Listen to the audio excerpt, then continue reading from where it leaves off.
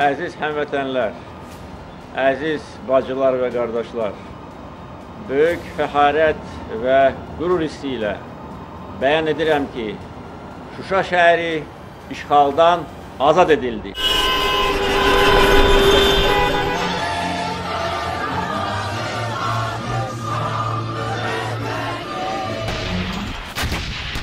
Azərbaycan bayram edir. Və təbii ki, Arayik ağlayır.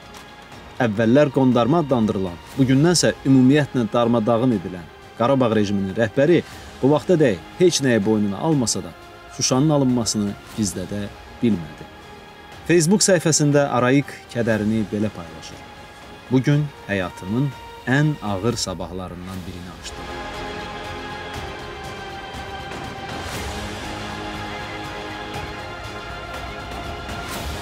Amma yenə də bir az da olsa yalan danışır. Deyir yenə də burdayıq, mübarizə davam edir.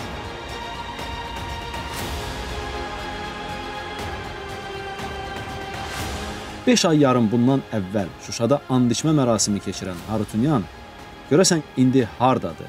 Harda gizlənir? Hansı mübarizədən danışır? Nəyi davam edəcək? Qeyd olunanlardan başqa Azərbaycan xalqının Arayikə daha bir sualı var. Demişdi ki, Şuşanı itirsələr, öz başına bir güllə vuracaq. Amma hələ də Facebookda status yazır. Xalqsa yenə də soruşur. Bəs nə oldu?